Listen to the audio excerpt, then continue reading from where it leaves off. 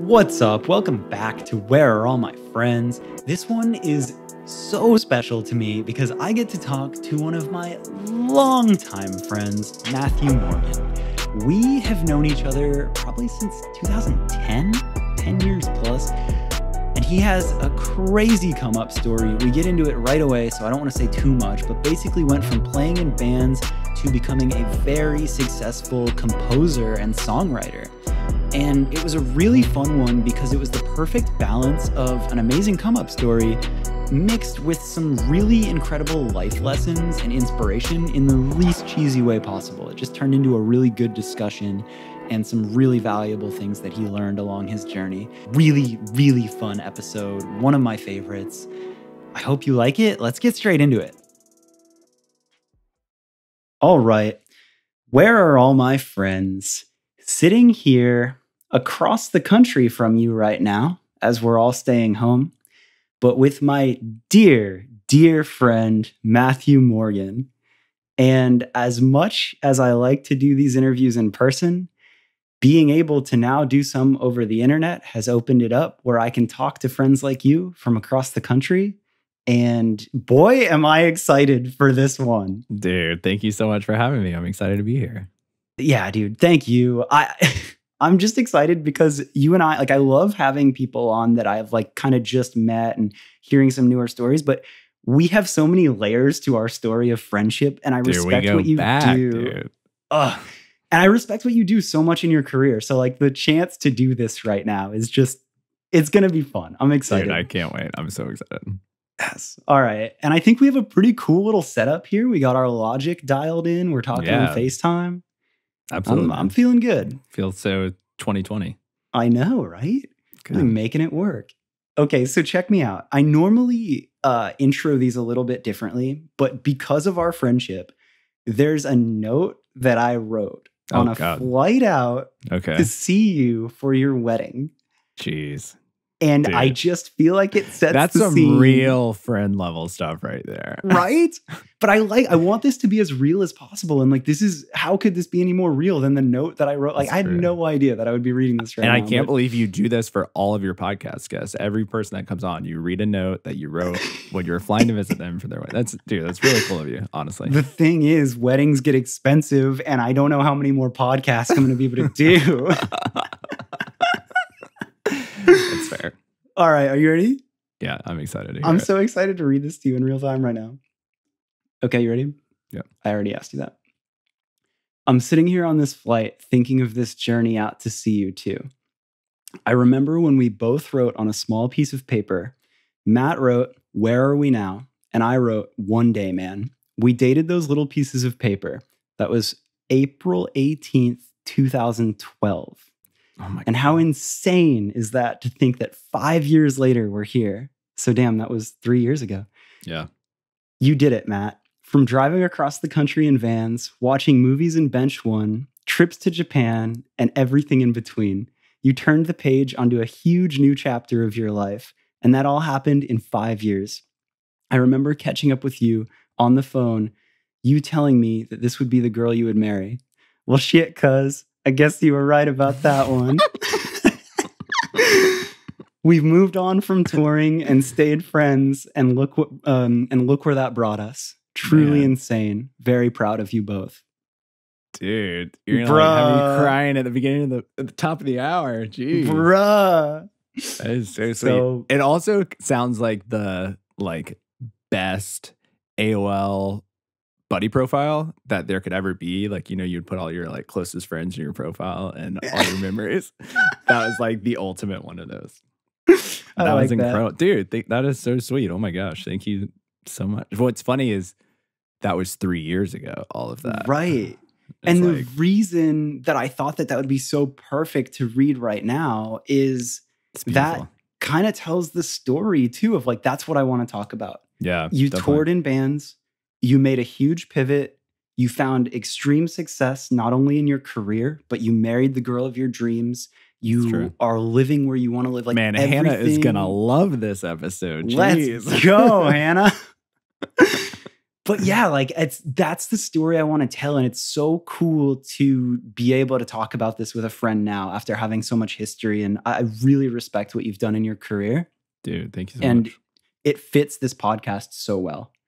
Man. So having read that note, I guess take me back. what like- what a high bar you've set that now I feel like everything I say has to be as beautiful, as well put. You've really backed me into a corner here. I really have, and I expect the best from you. Mm. Okay, perfect. Yeah. So I think the spot that I want to start is tell me a little bit about your touring days. Like that's such a huge Yeah. part of your life.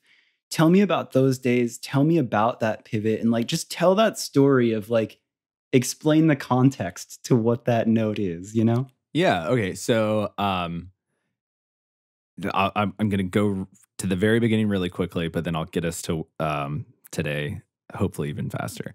Um, okay, cool. I I met my best friend Jose in seventh grade. Um, we started a band together in eighth grade called Divided by Friday. Um, we wrote music and recorded music all through high school. And then when we got to college, we signed a record deal, started touring.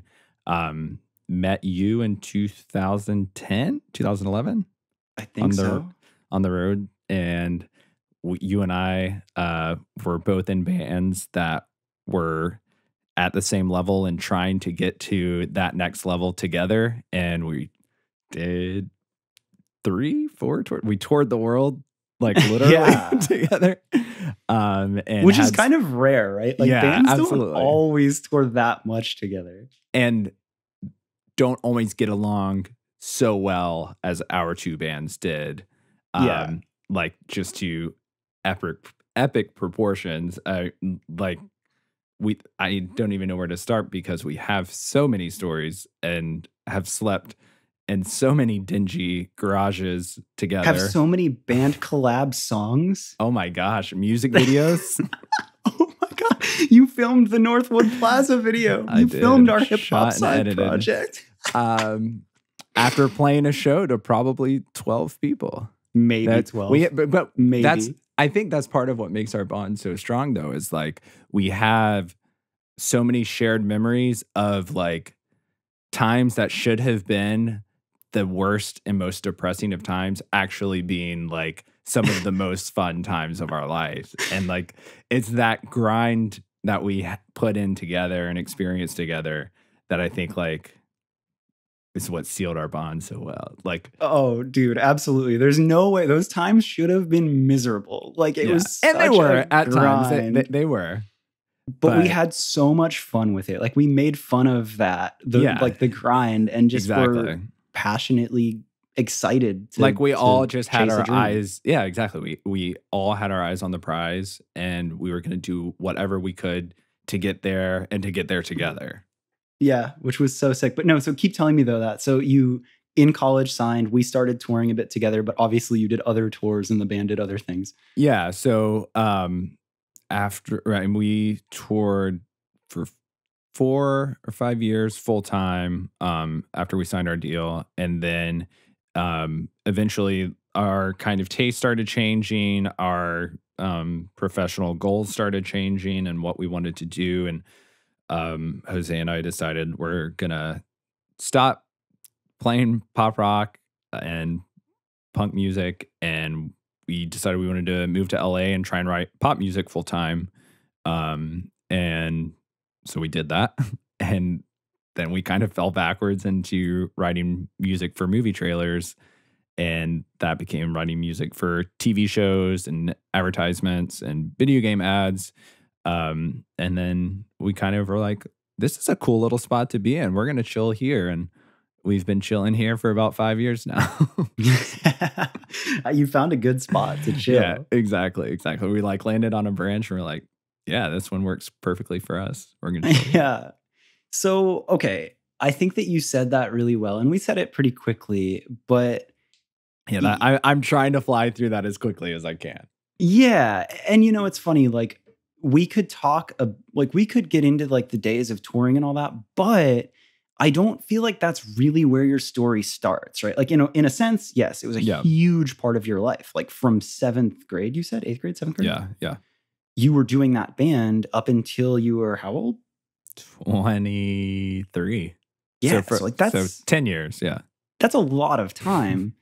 um, and I think like you guys, it's funny, like you say it so humbly, right? And we were grinding it out in the day. Oh my gosh, dude. in our day. But you you did hit some strides of success, like in that lane. Yeah. You guys, like we got to go to Japan together. We got to like Yeah. both bands, like your band, Divided by Friday, toured pretty much the world. yeah. We, I mean, we did Japan with you guys. We did um, Europe, all of Europe, Mhm. basically with Mayday Parade and Mm-hmm. the US however many times. But dude, I, Yep. yeah, but that I, we're skating past it. It it was definitely like the dream at, at the time like we achieved all of the things we wanted to achieve basically with Yeah. that band um and that, that i think that's kind of also why it felt like a good time for us like we decided in the band shortly after maybe like a month or so after we got back from europe and like i had written down years before on like my life bucket list of like i just want to play a show in italy like my family's from Italy. Like that that was just like a big thing for me. And then we played two shows in Italy and it was like, yo, I I'm good there. You Like, did it. Yeah. Well, and that that exact spot is what's so interesting to me because it can be really hard. Like that becomes your identity. You're doing something for 10 years Yeah. and like you're young, right? Like that's a huge part of your life. And to then be like, yo, I'm going to change this and I'm going to I'm going to stop doing the one thing that I know so well. Granted, you still did music, Yeah, but yeah. like that can be a really scary pivot. And and I remember those times, right? Like we've Yeah. been friends through all that and I think a lot of bands, a lot of artists would lean into staying comfortable and yeah.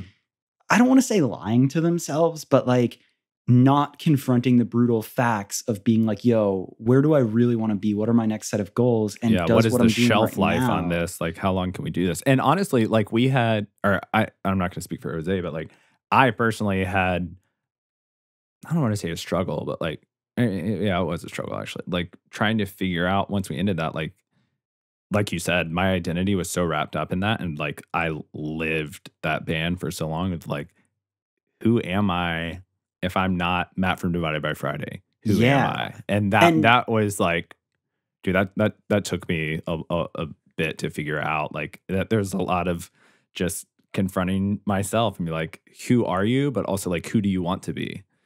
Yes. And that kind of is like what I feel like landing on that is what helped me kind of turn that page of like, okay, I can decide who I am because I know I am no, I am not Matt from Divided by Friday, quote unquote.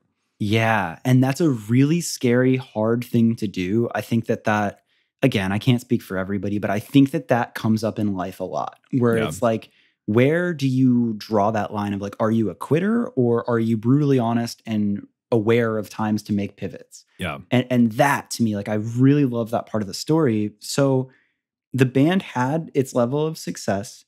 You guys were getting into a different interest in music though right like you were starting Yeah. to get really into pop music Mhm. and you were on an indie label that like you know like it was are a you punk really rock g- label. yeah like are you gonna get is a punk rock label gonna get a pop song on top 40 like Yeah. it's, you're setting that's an unrealistic expectation Yeah. so not only that but you're in la right i don't want to tell your story too much but you're in la Yeah. and wasn't your first movie trailer tv like on that side almost an accident Oh yeah, yeah, absolutely. Like not, it what wasn't happened? almost an accident. It, it was 100% what is happening. Um, we had, I mean, when we were living in LA, we were doing songwriting sessions every day, and someone would have like a brief from a record label of like, okay, Ariana Grande is looking for a song that sounds like this. Justin Bieber is looking for that. I mean, they all are wanting just the next smash hit single and they're wanting it in their inbox by Friday and they want it to sound like A, B, and C and go.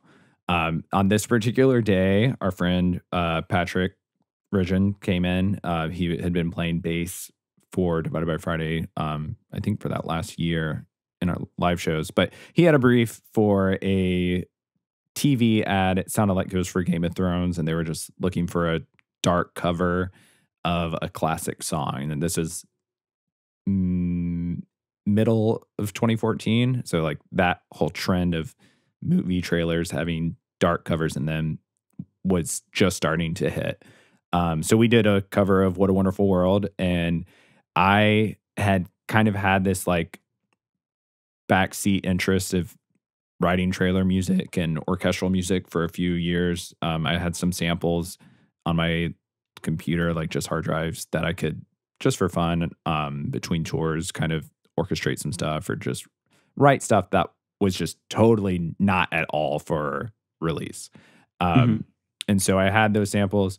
We did this cover, and our manager at the time was like, Hey, I'm going to send this to this company, Position Music. They are the top company I know of that does music for movie trailers and for TV shows and advertisements. And he sent it to them and they loved it. And like within a month or something, it was in this huge video game ad for EA games. And then I think a month or two later, it was like the big trailer for Insurgent, which was the Divergent series, I think is what it's called. Um, and that was like suddenly we went from not making a dime of money from music to we were able to like live for a year off of the checks we were getting. And it was like, oh, this is incredible. Like i i how did we not know this existed? It felt like a little secret that we had stumbled upon. And we're like, I hope nobody else finds out that you can make money from music. Yeah, like I'm trying to remember. I think you and I, because you, I was living in Florida and you would come visit your family for the holidays down there. Yeah. And I feel like we were hanging out. I We're at want a to Best say, Buy. Yeah, dude. I remember we're walking through a Best Buy and you're explaining this to me. And you're Yeah. like, yeah, dude, like we got like a check. And I'm like, you're like, dude, like we're gonna like we got enough to like live. And I was like off off one thing. Like both of us, Dude, right? Like yeah, we it was like, what is happening? This, this yeah, is like it was like this- you found it was totally not the world that you and I were used to experiencing in music. It was like we, No. we're used to just the grind of it and like, oh my, I, to have a budget for a music video was a big deal. And Yeah, that's that not even going in your pocket. Th- This is actually money we're getting to eat with. yeah, the idea of like a royalties coming in from like a mad like getting paid off of the actual music. Like, sure, you can find a way to sell your merch, you can make money on tour, but you were like, yeah, our song got Yeah. us paid, and I was like, I'm sorry, what? you mean So- your t-shirt sales? Yeah, yeah, yeah. Your your Your touring t-shirt sales is what. But that blew that for sure blew my mind. And that to me, at least from my side, felt like this moment of like, oh, things just changed. Yeah. And it felt like that. I mean, once we did that and obviously saw some success with it, they asked us to do like a whole EP of similar dark songs. And then, like, from then on, we were just making money in sync. And that was in sync. Wow. Um, within the sync side of music, it was the first, like, we didn't know that existed. We had no idea for the 10 years we did our band that because we, we had Divided by Friday, we had music on ESPN, but it was for free. They, it was a, it wasn't a, we will give you money for this. No. It was, we will play your music on TV and we will give you nothing for it. And we're like, yeah, and you're our- stoked. You're our like, music this is our shot. Oh my Yeah. God, we made it. Yeah, this is going to change everything for us. Every person watching Yeah, this football game is going to come to our show now. Exactly. And that happened. I can't believe it. plot twist no so that yeah like that that was really crazy and at that time did you like was it pretty clear like you're like okay cool this is what we're doing like no yeah, question Oh, for sure. Because, Yeah. like, I mean, like I said, I Jose and I had had discussions before of like grand scheme our career.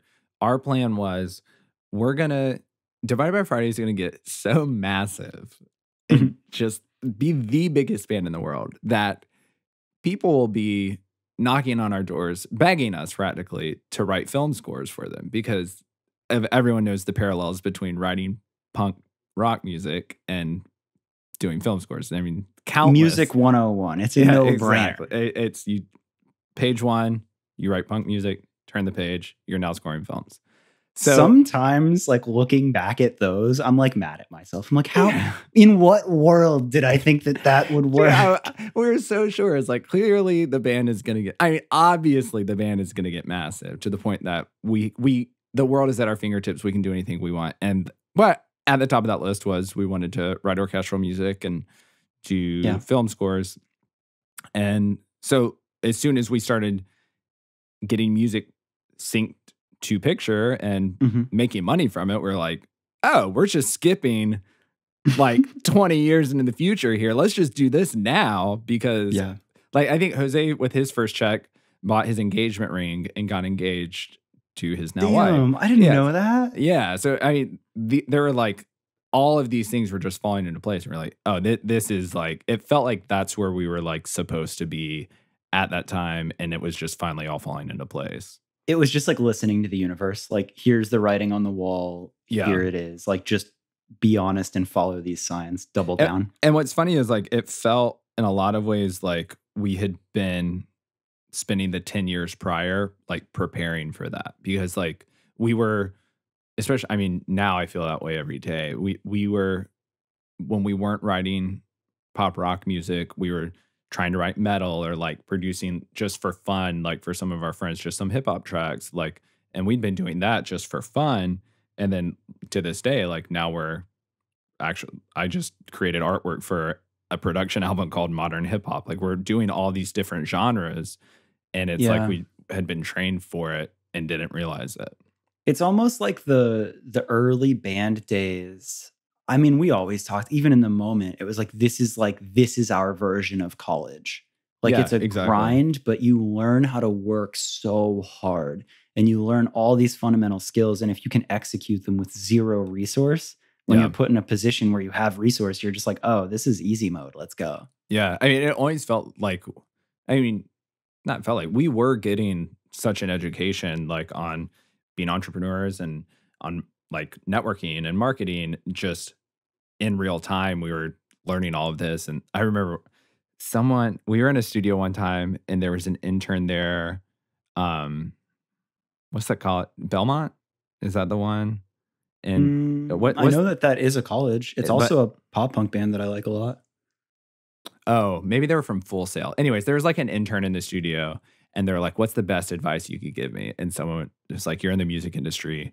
Drop out of college and start working in the music industry." And I'm not saying that's like a blanket statement to make, Yeah. but th- th- that is like when I heard that, I was like, "I I back that idea." I know it's it's hard for me, right? Like anytime somebody asks you, like anybody in that like young adult, maybe Yeah. college, maybe touring thing, it's really hard because I don't think that college is the right path for music. yeah, However, I have met people that have done that path and they have skills and knowledge in certain areas that I Yeah. don't. There's So I'm definitely not saying there are sure. there are success stories on both sides and Yeah. i hate saying on both sides because i mean really it, it i dropped out of college Mhm. did you go to college like I went for two semesters. I went for two semesters also Sigh. so i think our allegiances have- are stated Yep. But uh yeah. So actually, you know what? You said something to me. I- I'm in a tiny sidebar here though, because just on the subject of education, I remember very recently we were talking and you were saying something about imposter syndrome. And oh god you're really calling me out yeah i well, I- I because I now here suffer- you are re-educating yourself. Yeah. So like I I feel like I suffer from imposter syndrome worse than anyone has ever suffered from it. Um it every day I feel like I have faked it till I made it and now I have to show up. So like you and I were talking a few weeks ago about this and I told you like one way I've decided to combat that is I've at the university in our town I've started taking like music theory classes and trying to actually educate myself so I don't feel like such a fraud and so that I actually do know what I'm talking about and I can talk about all different like modes of music and like yeah. voice I leading and all yeah I mean it's Well, I think I think that go. there's a level of anxiety or like if you're not prepared for something or you don't feel like you're educated on it, you can always feel that uh, imposter syndrome or anxiety. yeah And I loved like you kind of blew my mind when you said that because I think we all feel that whatever it is our lane, our professional capacity. And when you said that to me, I was just like, damn, like it doesn't have to always feel like that. You can Yeah. study whatever it is. Find that thing, be brutally honest with where you're like, yo, I'm not good enough here. I could know more here, and then study it. So that's the only reason I wanted to bring that up is like we Yeah. talk about this with college, and I don't think college is the best in most lanes with music, but Yeah. I think education is fucking tight. Yeah, I mean, And it I definitely it, it depends on what you want to do in music too. I mean, I will say like in when I sat down in August in my music theory class, I was like, "Oh, this is the first time in my life I've ever had formal music education." And all these kids around me have like grown up with it and they knew so much more. They knew all of their scales backwards and forwards and their key signatures and I was like, "Oh my god, there's all this stuff that like I should know." And I did have like a kind of basic idea um but I mean, there there is something to having a formal education for it. Just like I think if you're wanting to be like a tour manager or like a tour like a photographer or something, like I don't necessarily think you need to go to school for four years to learn that. Right. When you Exactly. could just be You're gonna- grinding out on the road. Yeah, go intern at a venue, go shadow somebody. like, exactly. Kind Find of someone on Twitter that can offer you advice. Yeah. Well, anyway, I, I don't want to derail too much. We were talking about how the early days of independent music and the band days was the college of life that led you up to this. Yeah. Um, and then another thing that I was thinking about was fill this timeline in for me because there started to be some success. You got those checks. Jose got the engagement ring. I didn't know that. I love that. But like Yeah. enough where you're like, oh, like life could change here. Yeah. You double down on that. Another thing that I know was huge for you, which was like a life milestone, and I don't know how long it took. Didn't you get to go overseas and record like live strings at the Yeah. craziest studio possible? Yeah. So I on our first meeting with position, actually, um, they were telling us the kind of like laying out the groundwork of what their company does and the composers they work with. And there's some pretty big names. And they were saying, you know, we're look, we're recording a bunch of our trailer albums, which is an album of songs for movie trailers. Mhm. Um, we've been recording them all at Air Studios recently. And like for me, I feel like I a lot of people watch like The Dark Knight or like they hear Hans Zimmer and they're like, that's my like can I know film music, I know Hans Zimmer or John Williams. Those are like the two people people know. And Yeah. so like for me, I knew of Air Studios because Hans Zimmer, obviously the biggest name probably right now in film music. He does all of his al- or all of his soundtracks there. Um, he did Inception there, which for me is like the movie that I was like, I have to write orchestral music. That full stop. That this that's it for me. Dog, um, even before orchestral music, you wrote a DBF song about Inception. That that is also true. Yeah, I, it, it is too. It is my favorite movie of all time. Um, Very good. and so like I knew that they recorded Inception there. I knew like they recorded the first Harry Potter soundtrack part of it there. Uh, and so like as soon as they said that, I was like, oh my god, we, we have to do that. Like all the way, I'm all in with this company just if we can do that. And so like we were working with them, and a few years later, we had kind of been writing an album over time, uh, and then they let us know that they did want to do it live, and I remember that just the fact that they wanted to record it live, like we were just so excited about that because I it, it was we had samples and stuff, but there's a huge difference between a violin section sample from my keyboard versus like hearing a full string section playing your parts. And so to get to do that for for the first time and learning we were going to do that was a big deal. And then a few weeks later, we found out that the intention was definitely that we were going to do it at Air. Um, so like a month before we got or I got married, um, April. It was actually it was it, it was three years ago today. Um, nice. Really? yeah, it was, uh, Jose showed me yesterday. Um, we we did it April first and April second of 2017. Um, Holy. yeah, so we did 11 songs with 60 players. Um, and it was like the, yeah, easily the best in the musical slash professional career I've had. It was definitely like the standout moment of like, oh, wow, that like it felt like everything I'd ever done led up to that moment. Um, and everything I've done since is in an effort to return to that room. well, like, I don't know. That's just crazy. It's more, I'm obsessed with that, right? Like, you found the thing, and then it just kept giving you signs of like, keep going in this, Yeah, keep definitely. going in this, keep going. And uh, from there, so you said that was. Tell me that time again. April 2017. Yeah, so that's still we have three more years of continued success. So I guess pick up from there. So after we finished that album, like a few months later, there was a big trailer for A Wrinkle in Time, which was a Disney movie coming out. They used one of our tracks from that album uh, called Challenger One. And that felt like kind of the validation I'd been wanting, and like didn't know that I had been wanting. Like that, that was the first time I was like, oh, okay. So uh, up to that point, we like most of our success had just been doing covers. And so I always felt like, like, yeah, we're successful at this, but it's just doing covers. So like how legitimate it's not anything that like we've come up with. And so then when that happened, I was like, oh wow, like this actually I I felt less of that imposter syndrome that we were talking about. Like it, it felt Yeah, that's a massively validating thing. Yeah, and th- th- that was for sure like part of one of those signs you're talking about of like keep going, keep going. Like I have this just inherent self doubt at all times that I'm always like, are I ask Jose every day, like, are we even good at this? Like, is is this good? Is this bad? I don't know. Like, I just know it's coming out of my head, putting it on the computer, and someone else can. it- It's not for me to say if it's good or bad. It's for the world to let us know if it is. And that felt like a big like, all right, you guys don't suck at this. So. I um, love that you just shared that too, because from afar to me, I'm like, you're the best at this, and it's Oh, crazy No, that I- I- yeah, that's very nice of you. But yeah, every day, I, I think with a lot of, I feel like a lot of like creatives and uh, musicians, particularly, um, probably musicians and comedians, uh, just don't think they're any good. Have and besides, just like people are full of themselves and are too cocky. But most of the times, that's hi- hiding insecurity.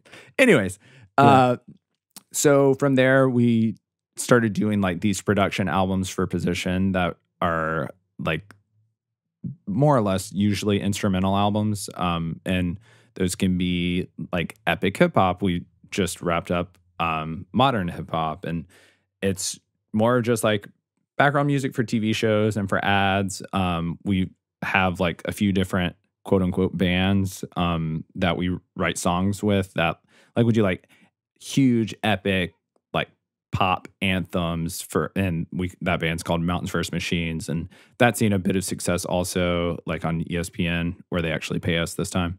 And um League of Legends which is a video game uh by Riot they have been nice enough to use our music pretty much every year um for their big world tournament. Um and there, there's just like all these different avenues like one of the things we've been trying to do for the past few years is like have more streams of revenue and more income coming in from not just movie trailers but video game trailers and TV promos and TV spots for movies and like the ESPN stuff like just going to commercial and sporting events and UFC promos and basically trying to diversify ourselves and not just be the guys that do dark covers or not just be the guys that Mm. do trailer music but like do as many different genres as we can and like our whole thing like when we first started doing this we were trying to figure out like, what value can we bring to position? Because like at the time we were trying to get them to sign us to a publishing deal um, which ultimately thankfully they did.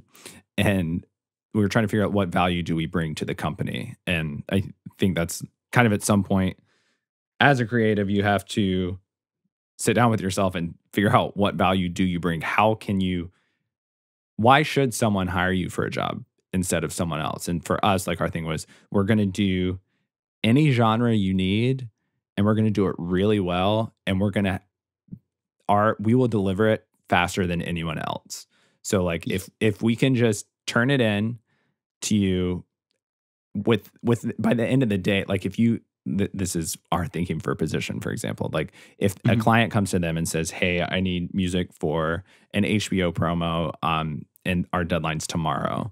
Uh, can you guys get me something as soon as you can? Like we'll write a custom piece of music like 30 60 seconds for them um, and turn it in by the end of the day if we can. Just i mean it, it's getting to be like people are learning that there's more music in the music department of the film and tv world than there is maybe um, spread out in the music industry. And so it's it it's starting to get a bit more oversaturated as more people start working for music library companies, um, and uh, there's way more competition now than even there was three years ago. So I mean, you you have to be um, you have you you have to deliver top content. You have to be the best, and you have to be able to deliver.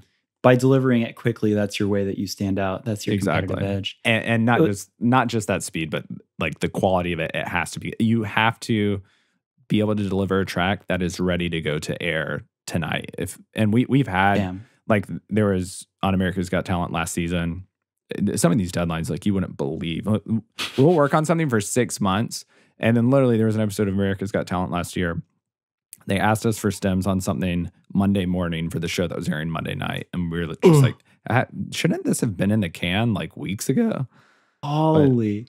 It's really interesting for me to hear these things though, right? Like I love these little details and I don't know, like it's cool to hear. I don't know your yeah, like I don't know this profession on this level. So like that little like under the hood look, I'm like, whoa, cool. um but you said something, you were talking about mountains versus machine. I had two questions as you were saying that Okay. or two things to say. One question, one thing. I remember when I was at your wedding, um, so a couple years ago now, I was with you and Jose, and we were talking about uh, specifically, I think it was mountains versus machines, Mhm. and it was uh, mountains versus machine. It would be versus. What do you? It's what, however, we always just put VS. So if you say verse, mountains versus machine, I don't know. My know. mom always corrects me on that. I'm going to say versus. yeah. I'm going to leave this in and I'm going to say verses. So if, Yeah. if you're listening, mom, look, I learned. Um, you were talking about it, and it was such a fun, simple conversation. And we were talking about the days of like divided by Friday getting that ESPN placement and how different it was Yeah. because it was this whole grind. It was like this. If every star aligns, we'll get that track and then they'll Yeah. play it, and you don't get paid, but it's like this is your shot. Yeah. And then as soon as you found your better lane, not only did you you were getting all sorts of stuff placed, you were getting paid for it. It accidentally started streaming well on Spotify as an Yeah. afterthought. And it was just this there was an underlying feeling of keep it simple. yeah. And I don't mean to say that to discredit hard work that bands put in, but it was like, I think people can get caught in the wrong process and forget that things should flow and be simple. Dude, absolutely. And you really hit a stride with that. Yeah, I mean, our approach has always been like, I mean, the classic like keep it simple, stupid. Like, there's no point for us, and and part of it is almost by like necessity of like we don't have time to spend dialing guitar tones on amps and miking up a drum kit and just spending hours working on these tones and tuning the drum. Like, we'll pull up a sample uh drum kit on Kontakt we i mean at this point we have like templates set up but we'll use presets we'll Mhm. dial in it if it sounds good to us i mean that's what matters the most to us and spending all this time trying to just agonize over like well it, we can't quantize this and it's got to be live and just for us that has never seemed like the best use of our time because Yeah. I mean, really, now with these deadlines, like time is money for us. And I can spend four hours making sure just this guitar part's nailed down, or I can spend about five minutes editing, quantizing, doing what I want to it, and getting it where it sounds great. Maybe it's I mean, it's not perfect, but it, it's good enough. And it- it- that, that that's part of it for us is like just not Yeah. o- not overthinking so much of like realize who's going to be listening to your music. Like, are you, I know you want it to sound so good, but like, are these audio engineers who actually, uh, like, in the 0.1% of the world of their ears, of people who can actually hear the difference, are they the ones listening to your music and analyzing your music? Probably not. And especially for us, like, a lot of times our music is behind dialogue and behind sound effects and stuff. Like, Right. th- th- yeah, it's I It's guess a may- really maybe the stakes are lower for us in some, even though like it's going to a bigger audience. Like we, by the time I wrap this project, I'm opening a new project and have moved on to the next. I don't have time to like harp on this too much, and and that's been fortunately like a benefit for us. It's like we we Well, don't no, have I time love to that. overthink it. I love that. And I think that it's this, it's hard to explain, right? Because you can't be uh negligent and and Yeah. like sloppy. Exactly. Exactly. But there is this really interesting balance that I find in a lot of successful people of just this concept of like ship it, like send Yeah. it, like do Yeah. the thing. So it's that balance of you're good at what you do, you have years of experience behind it. Yeah. Like you understand enough music, you've written enough of these songs. And I think that by each one you write, you get better. Yeah. So it's not that you're bad at this. It's not that you're sending sloppy music, but you don't overthink it and you send it. You actually ship it and then you keep going. Because I think that the the amount of songs and music that you have written now yeah. is just like that's what's giving you that edge and that's how you can continue to do it. Yeah. Whereas somebody who spends a year perfecting one single album Yeah. they're going to end up being behind. Because if those songs no matter how well they're mastered and mixed and perfect if those 12 tracks don't appeal they're just not going to get the placement. Dude, so by you having 100 uh, 8 out of 10 tracks instead of 12 10 out of 10 i think you just win. Yeah, and when you explained that to me when you guys were explaining that to me it really blew my mind. Dude, like Um, a perfect example of that, like literally, and this is a just quick story. Like, please um, yeah three weeks ago, a month ago, um, Jose was in LA and I was in North Carolina, and we got a very last minute brief, and that's hey, we need a new Mountains First Machine. It was a Monday. They need a new Mountains First Machine song due by Friday, and Mhm. Jose was going to be at Disneyland every day that week. So we wrote a song in probably an hour and a half through Google Docs and through voice notes and just like me humming in a melody to him, him saying how he thought that melody could be better and sending it back to me. And then when he got back to his Airbnb, he recorded it, and it was like one of the best songs. It's gonna be our next single. Like it was one of the better No songs way. we've done. Yeah, it, it's it's being able to just keep it simple and like we, like honestly, we learned from that because I think he and I recently have been spending too much time on lyrics and like we didn't have time to try and make sure every word was perfect. It was just like, yeah, you, that's a good line. Next.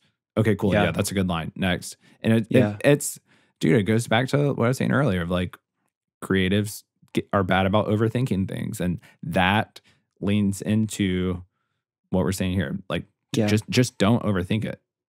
I think also, especially given the day and age that we live in, Yeah. people consume so Yeah. much Yeah. media.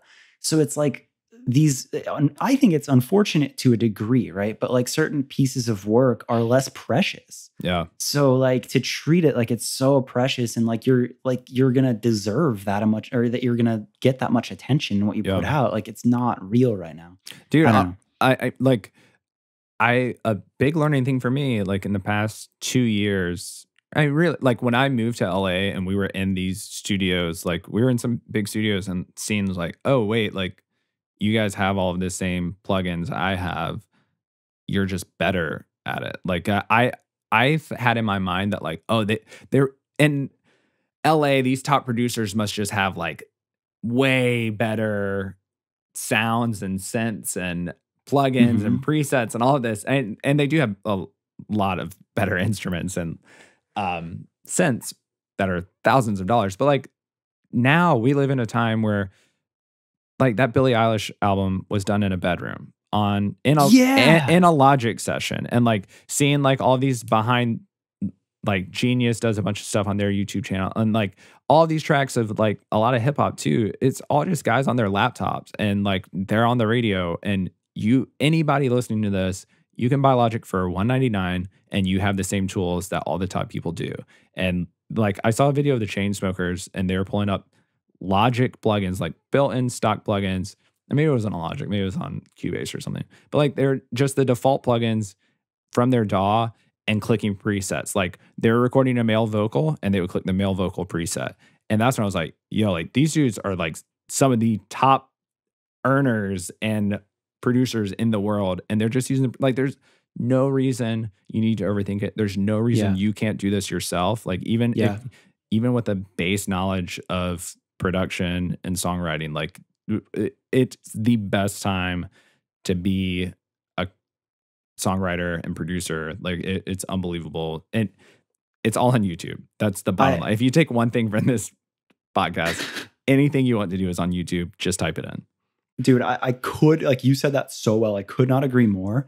And to further back that point, I think that it's like that with a lot of different professions right now. Like you're talking Yeah. about like music and production, but even, and I, I don't know if you get this feeling, but like photography or podcasts, like two things that I've kind of gotten into. Like with podcasts, I'll listen to a podcast and it'll be like, to me, in my opinion, the cleanest production. It'll be the everything sounds so good. And I'll like hit them up and I'll be like, yo, what do you record on? What like what plugins? Yeah. What's your chain? And they're like, oh, it's just this like random road mic that I travel with. And I'm like, Yeah. there's no way. So again, it's like they per- they've perfected their craft. They're not leaning on their gear. Or like the amount of videos that you see that are amazing done on iPhone now. Dude. Or you know, you think this creative has the best camera and they must have the best lens. And it's like, no, they just figured out how to edit really good. They had a Yeah. vision and they executed it. and they have a good so- story to tell. Yeah, exactly.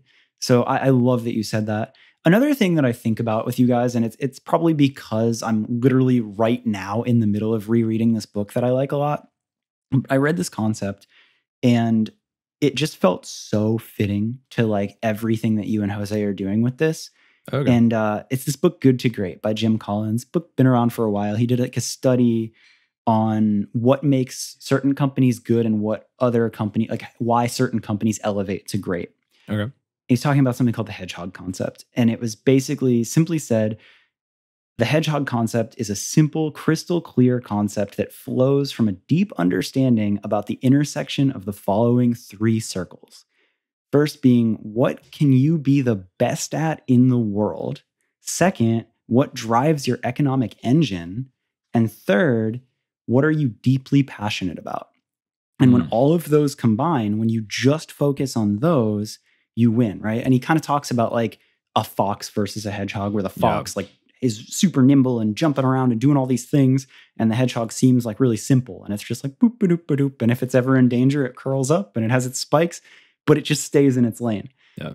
And I, I was thinking about that, and I was thinking about when you guys pivoted from DBF into like writing and composing and all of that, you found that thing yeah. and you just went like you i i don't know right It sounds just yeah. felt I like mean, that like when you say that, like it sounds like the perfect storm, like that we experience of like the. Uh, what were the three things? So the first one and i'm curious like i actually wanted to ask you like i wanted to see from your point of view so the first one what can you be the best in the world at and he Okay, so- actually so- goes so- on to say Oh no, no, keep going. what keep also what can you not be the best at and like being honest about what you're not Oh, okay, yeah, that's really interesting. So like, um, when, yeah, I'm gonna take them one at a time. So this first one, like, when we started doing it, um, and by it I mean like start, started having some success with media composing, media composition. Um, in our heads, we had always just thought like, oh, we can write any genre. Just tell us what genre you want us to write.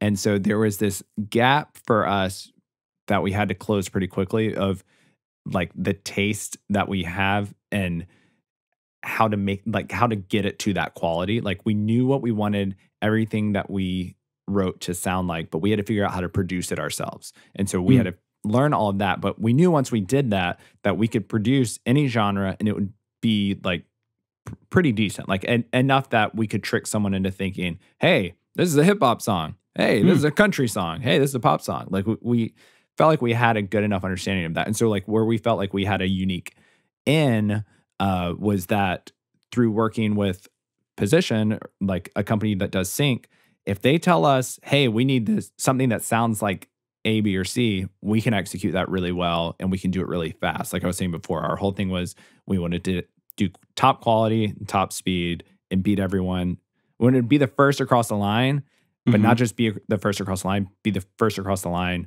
with just an amazing product to deliver to them. So like for us, that was the thing. What was the question? Like what? How did well so uh, it sounds like what can you be the best in the world at and it sounds Yeah. like you were saying like learning the production once you knew your production Yeah, you And the- could do and- it for and- anything yeah, and the writing. Like we could write and produce top quality stuff at the level required of us. I'm not saying we're the best in the world. That's where I'll draw the line, but I Mhm. knew we could do it pretty well. But what's According funny to though, Jim Collins, you Yeah, need to be the best. in know. Shoot. All right, I take it back. This is awkward.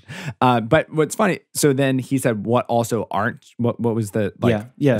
So and also transversely knowing and understanding what you can't be the best in the world. Okay. Not trying to do it all. perfect. Yeah. So what we had to learn though was that we can't write all of the genres and be the best. We can't do dubstep, for example. We can't. There, there's all of these other genres that we thought like, oh, anything. Like when we first started working with Position, we were telling them like, hey, anything you guys need, we can we can do it the best and we'll kill it. And then th- some requests started coming in that were like, oh, actually we can't. We're not any good at that, and we had to learn that. Like there was a, uh, we were asked to do a piece. I don't remember who it was for. Maybe it was like Tark. I don't know who it was for. It's not important. But it was, can you do like a big orchestral Christmas thing in the style of John Williams? And I was like, dude, I love Home Alone. Absolutely, we can. And then that that was when it was like, oh no, he is the best living composer for a reason. And me with my absolute zero uh, experience in a classroom, but this is five years ago. Like I had no idea where to start, and so that that was a big thing too of like knowing what you're good at, but also knowing what you're not good at and what you should say. Hey, I'm not the guy for this because that's again going back to like time spent. It's a waste of time trying to fake something that ultimately you're not any good at. Yeah. Wow. Okay. Love that. All right, so continuing on. What was the second? Jesus. Um, the next piece is what drives your economic engine? What Uh, makes you money? That's e- like what what makes me money or what makes me want to make money. What no, like what actually makes you money? The single denominator. So it's like profit per X. Profit per what what thing do you do equals profit? So we we take a look at our ASCAP statement um, probably every quarter, and Mhm. we see all right, here are our top earners, Mhm. and that's usually how we decide um, where we're going to turn our attention for the next few months. Right. Well, it's interesting, right? Because again, this is a it's a funny thing to talk about because earlier as we were talking, you were saying you're kind of trying to diversify now, where Yeah. you're doing more than just movie trailers, you want to be Mhm. able to do syncs whatever. So I don't think it necessarily means like go full tunnel Yeah. vision, only do movie trailers, but it's like you found that your production and how fast you can turn things, what are the most successful things kind of Yeah. thing, right? And also, So- like part of that too is, I mean, because there is there there should be some room for experimenting and trying something. Like we did one album, um, a production album, like three years ago. It's called it was second in a series for position that we did not do the first of. It's called Fun Drums Two, and it's like these Brazilian drums and fun kind of like tribal stuff, and it just sounds so like funny. And then like it's made like some really substantial like it was in a thing for Madagascar and like all these random things that we never think about. And part of that Fun is on drums too. Let's yeah, go. dude, the squeakquel. And part of that though is is like we have a great company and great people at position that tell us, hey, we need you to work on this. Hey, we've seen success with this. You guys, we think you guys would kill this, do this. Um, but like, so within the realm of don't waste time, also like do allow yourself some ex- experimentation. Uh, because like now part of our success and part of like our income comes from having like 600 tracks or something like just having Yeah. that quantity that Or- really like just the sheer amount of songs we have like the streaming numbers they may not all just be slamming on spotify but it's a doing snowball effect. now. exactly there's just so Well, many I mean, bro, like if we rewind it though and look at it on a bigger picture, your economic engine is not being in a punk band. Your economic Yeah. engine is being producers, right? As Yeah. soon as you were like, oh, we get checks by getting syncs and having music like this, yeah I feel like that's it too, right? It's like Absolutely. clearly you guys weren't making money when you were in a touring band. and then you we found what it was. started making exponential money when you started writing, producing, doing syncs, this side of it, right? Yeah. Well, another thing that I, I want to say on the, this is Jose and I, pretty early on, we were well, like once we started seeing success, we had- we had to realize that the there is like artistry and a craft to a lot of what we're doing, but a lot of the gigs we're doing, it's a painter being hired to paint someone's house is the best way I've heard it put before. Hmm. And I'm not here to do this great Da Vinci painting on your house. I'm here to do what you're asking me to do Mhm. and there's an objective for it and you're going to pay me for it. And at the end of the day, Jose and I both have wives. I have a mortgage. We got car payments, got student loan payments we got to pay off. Like we're here to keep that uh engine of money rolling and so like part of there is some like what I'm trying to get at is like the idea of, and this may just be in my head, but like I could see a former version of myself being in a punk rock band and seeing it what Jose and I have done as quote unquote selling out. Mm. And Jose and I think selling out is a really funny term because that means you're making money doing what you love and making music. And You could almost Shoot. say that selling out could cause some soul doubt. which was what we still wish you would name the podcast. There's a Uh, funny backstory to that that I will make very short. Uh, I did not know what to name the podcast. I was with Matt and Jose about a year ago, and we had a very long, long discussion about calling it sold out, but calling it like all sorts of different versions that aren't just S O L D O U. Yeah, like so soul doubt, like S O U L, soul, Yeah. like Korea, sold out. Anyways, yeah, um, so but like, sorry, I'm so sorry. there's some great quality puns in there that we're just not going to have time for. Uh, it's funny. but like just realizing that we're in a business to make money and we are getting to make a living making music and like if that is considered selling out then like sure you can say we've sold out i could not care less at the end of the day i'm able to pay my mortgage Well, th- yeah, that, but also like, okay, so you've sold out. You you have fun drums too that strangely pay money that maybe young punk version of Matt would not love, but like you also got to go Air Studios, Mhm. what it's called, like that wouldn't have happened. So along no, with I- some of those moments, I- it's I like don't get to accomplish any career highs. i don't have like any sort of self-doubt of Yeah, yeah, in myself of being sold out or whatever i don't care at all Okay. Well, that answers that. And then the third one is what are you deeply passionate about? And I think the So, reason yeah, that that's that- written is like you can't keep going. You can't stay a hedgehog. You can't stay in your lane See, I- unless you're doing something you're passionate about. I think you and I have talked about this before because you and I, as you know, for the listener, have like a catch up call every usually like what six months or so, Yep. where it's just updating each other on our lives and giving I each other a typically choose advice. Heinz.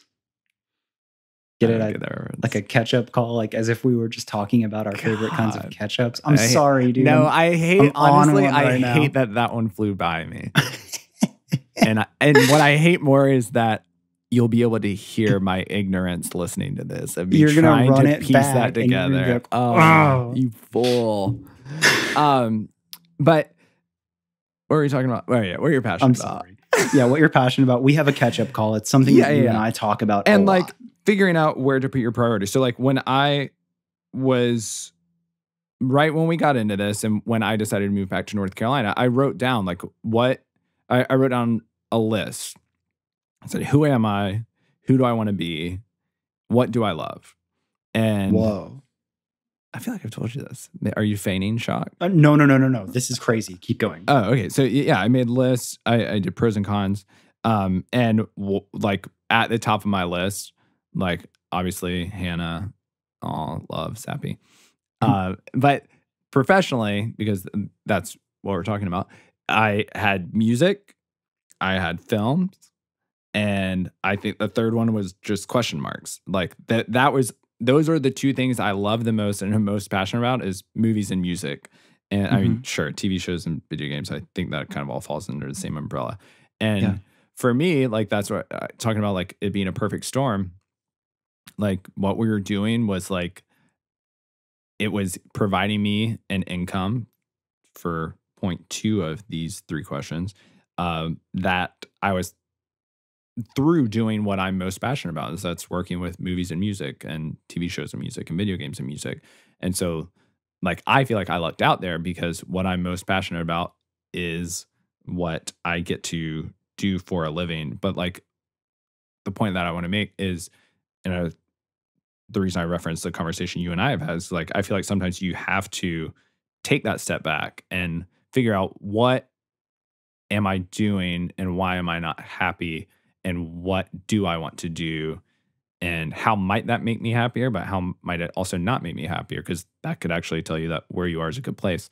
And figuring out like those professional goals that you want to have of like this is what I'm I mean I when you read me that just now of those three steps like that third one is so important of what are you passionate about? Do you hate your job? Like maybe you should pursue your passion and, and honestly maybe you shouldn't because maybe you're passionate about it maybe you love the idea of it but maybe you're not any good at it um, Yeah. you have to be able to be real with yourself and um, i think finding out figuring out what you're passionate about and what drives you um, yeah that that gee that's so key because i mean i i'm so happy in my life and in my career because on monday morning i am literally excited to go to work because i get to work in music for film and tv and video games and it's like it's my passion and it's the only thing i'm good at it like the only thing i've ever been good at is writing music and watching movies and i got so lucky that we get to do it every day dude, that just hit so hard. And it's so like you that's the dream. Like that is it, right? Like at the end of the day, money doesn't really stack up. Like you Yeah. get to the point of being able to survive. If you're doing something that you hate, that's not it. well And i the mean there's di- there's can- different kinds of wealth like money is a value but like is that worth like your happiness because that is Right. a value also like that is a currency as well and i hate like i hate it saying that we're i but i hate saying that we're like lucky because like oh yeah we're lucky that's not advice to offer anyone like that's i used to hate like i've always loved hearing people's come up stories and like i always hate hearing yeah and then i just got lucky one day but like unfortunately that bro. is part of it We, no, we talk about luck though, and it's like I think that luck comes from scenarios that you set yourself up for success. It comes from preparation and practice, right? So when this Yeah. opportunity presents itself you to gotta you, be able to s- you're firing on every cylinder. You're amazing. So it's like luck. I don't know because you spent ten years of your life in a band that ultimately did not become the thing.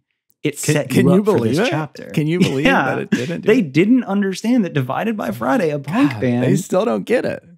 God, they're sleeping on y'all. I know, But it's like, yeah, like luck, maybe. But I think that you you had opportunities that you were always ready for and always prepared for. And you you set that up through I guess just like- years. no, no, no. I, I'm not trying to discount that. Where I, I just feel lucky that like, I don't know. I feel lucky that I get to do that. I make a living doing what I'm most passionate about in the world, and like that to me feels lucky. But also, I do recognize that it is the result of a lot of planned and not planned circumstances aligning.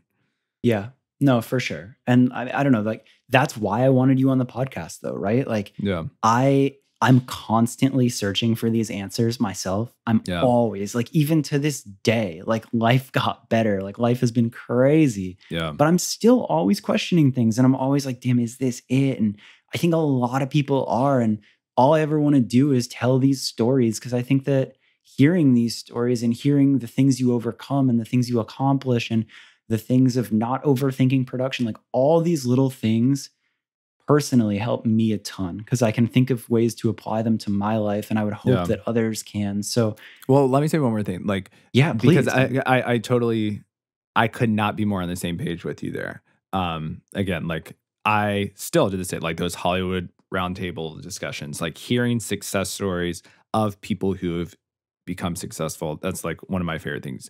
But Yes. also like we've had meetings with like different agents and different like representatives for people who are always no, but like who have a tendency to compare your story to someone else's. And like I think it's really important to remember that like your story hasn't been written yet. you don't have to, and you aren't going to follow the same exact path someone else has done. Like I've tried that, and in some ways I did. Like when Jose and I were in an unsigned band, we would look at bands from our area that had gotten signed and we would try and copy them and do that. And like ultimately, yes, we did get signed, but like our grander, like from a take a step back, our big picture careers are different. Like Jose and I are two media composers that have gotten to where we are by the weirdest backwards path. And there are hundreds of thousands of other composers with completely different s- stories. And like, just if there's Hmm. like a kid listening or an aspiring writer, producer, mixer, master, whatever, like, Anything, yeah. yeah, like you are going to determine what your story is. And like, if your story, if your favorite composer went to this school or didn't go to this school, you don't have to do the same thing. Like you- you are going to tell your own story. Like I keep saying that, but just that it was one thing that Jose and I realized it may have just been last year, honestly. Like there's we we were in a meeting with someone and they were saying you guys need to move back to LA and you have to go work at Remote Control, which is Hans Zimmer's big compound, because that's where up and coming composers will work as assistants and you work your way up through this whole system. And eventually you're writing additional music for a track or for a show or a movie. And then that becomes you finally getting the gig and two decades and you get to write a TV show. And there have been a lot of composers who have done that, have been successful at it, who have done huge, huge things doing that. But that's not our story and that's not the path we want to take. And we have kind of our own different path we want to take. And we might end up doing that. We might not, but we're ultimately, we are going to, and I think it's important for anybody listening to this, like you have to do again what you're passionate about and what feels right. Like we've only ever had success just by doing like following our taste and doing what we felt like, you know what, this is the best decision for us. And Yeah. it might not be what someone else has done before, but like that's part of my story. And that's just dude. how we're going to end up where we want to get. Dude, I actually really love that because I I probably fall victim to doing that too much is like obsessing over other people's success stories and Yeah. feeling like that is the blueprint. Mhm. Where it's like find inspiration, take ideas, let that stem ideas, but your story is your story. And Yeah. And if you're good, you're going to have your success doing what you're wanting to do. Like that, that will come. Like it, when we moved to LA, I quickly realized like, oh, and this isn't like a blanket statement, but a lot of people who are at the top are at the top because they're really good. Like the, the cream rises, like that everyone, not everyone, because there are people who just fit a mold, but a lot of successful people are really successful because they're really good at what they do. And if you're really good at what you're at what you do, you're going to get there. yeah, yeah, like the product comes first. Absolutely. Another thing, like you were saying that, and I was thinking, like I had uh, Paul Conroy on the podcast, and he came back for the second time, and you know he he just had such great insight the first time, and the whole second episode, like we didn't fully know where it was going to go. We were just kind of talking about like you know just goals and things like that, and the underlying theme, almost the entire episode, was around one thing of listen to yourself. Yeah. And you said that, and I was just like, damn, like ultimately, you know these things, and you kind of have that voice, that compass in your head. And I, I think like his whole story was just the importance of that and how how jammed up you can get if you don't listen to yourself. And Yeah. Absolutely. I think you and Jose did a great job of not copy paste following a path, but listening to yourselves. Yeah. Thanks, man. Dude, yeah. And I think that's the perfect spot to leave it. I, loved this conversation and Dude. I'm so glad we got to have it. I know, man. They, like, I've listened, long time listener, first time guest. uh, so it, it's it's cool. It's uh it's my first podcast appearance actually. I'm no way. Yeah, dude. So No way. put this one in the books. Damn. That's I'm I'm honored. I'm so honored. Uh, I thank you apologize for- if you hear me gulping or any uh ums and likes, but it's Yeah, the- Man, it's mine just who I well. am. Staying true to myself, dude. yo, like you know, like it's just like who I am. No, I think we did pretty good with that. And I think hopefully, fingers crossed, I'm kind of newer to the not doing them in person, but It looks like I have a nice little clean audio signal on my side. I, I hope the I might have peaked a few times when I got excited, but you know, it's Couple- part of the journey for the listener. A couple little laugh peaks. That's fine. Yeah. Exactly. Just Nah, some dude, character. Thank you so much. Dude, thank you so much for having me, man. It's uh, legitimately an honor to be a guest on Where Are All My Friends? And we're going to turn it back to Andrew Cramb.